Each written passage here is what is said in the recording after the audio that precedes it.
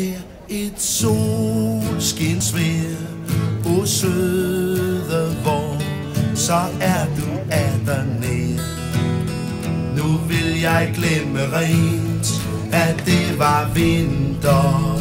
Nu vil jeg gå og købe hyacinter. Og bringe dem til en, som jeg har så er det blevet forår, og det er jo ikke bare bøgen, der er sprunget ud, eller solen, der skinner, der er det sikre tegn på det. Nej, det er, at Kastellet har åbnet for sæsonen for klassiske biler. Og øh, det vil sige, at hvis du stadig står og skruer på din, ja, så er du kommet for sent. Fordi i dag er sæsonen for alvor blevet skudt i gang. Og øh, igen i år er det en perle række af biler, der holder herinde. Igen i år er det solskin, og det er dejligt, og det er pragtfuldt. Så øh, det bliver spændende at se, hvilke tre biler, der bliver premieret i år. Og det er faktisk det, jeg går og venter på at få at vide. Så øh, i mellemtiden, så går vi lige rundt og kigger lidt på, hvad det er, at øh, pladsen her byder på. Og der er masser, masser, masser af lækre biler at kigge på. Små 400 er mødt op, og jeg er imponeret over kvaliteten af de fremmødte biler, og jeg er imponeret over forskelligheden. Denne fantastiske Auburn er en af mine favoritter, men den er premieret et af de tidligere år, så den får ikke igen. Denne skønne Buick i en pragtfuld farvekombination og en lækker original stand kunne jeg godt lide, men der var rigtig mange lækre biler. Så det må være en svær opgave for dommerne at vælge de tre biler ud, der skal premieres. Der er så mange flotte biler, og øh, hvad er kriterierne for at tage tre stykker ud af næsten 400 køretøjer? Det, det, det er svært.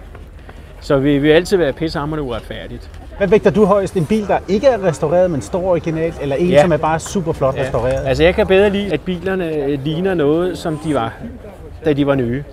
Og derfor er Bugatti'en derhenne jo sådan en af de biler, som man måske vil lægge lidt mere mærke til end alt det andet, fordi for det første er det jo virkelig et- klenodium. Den har den patina fra 1928. Der er ikke lavet noget gejl på den eller noget.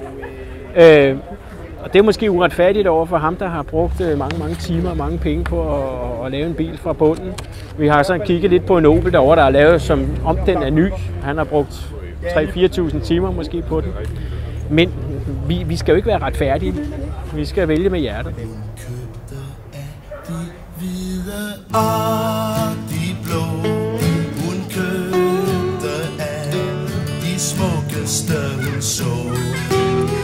Det er i dag et vejr, og solen skinner. Over mig svæver lutter lyse minder. Den tager jeg med til den jeg tænker på.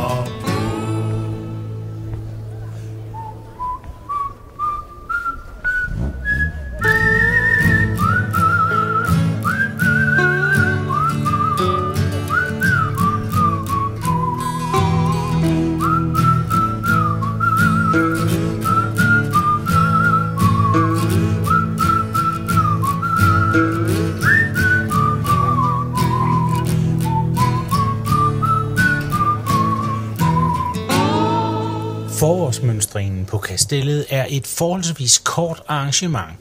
Man ankommer kl. 13 og kører igen kl. 16, og det vil sige, at dommerpanelet har travlt med at udvælge de tre biler, som skal premieres. Men sjovt nok, så lykkes det hvert år, og her kommer de tre biler, som dommerne i år valgte at premiere. Den skønne Bugatti modtog tredje præmien. En flot og gennemrestaureret sjælden Opel løb med anden præmien, og en fræk lyseblå Mini Cooper modtog dette års første præmie. Tillykke til vinderne, og tak til arrangørerne for et godt arrangement.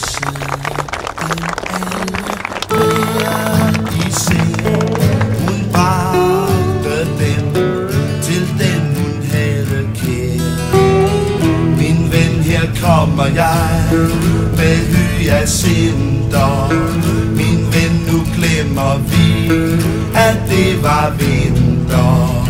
Det er i dag et vejr, et solskinsdag